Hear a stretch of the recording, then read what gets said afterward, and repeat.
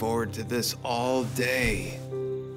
Papa, you ready, Yona? Come on, let's go. Big guy. G- go where? My new hiding place in the goalies. Come on.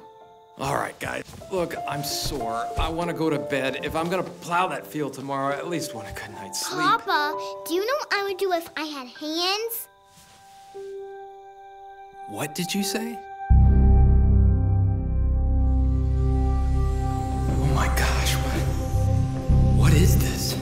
They're dolphins, just like us, but they have hands. They walk upright. Their backs, they're not bent. And they have hands.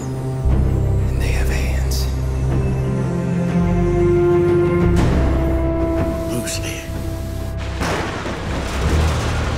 Look at yourself. All your life you've thought of yourself as an animal. I would run and run, and I would not stop until I found them. Do you know that there is something noble inside of you?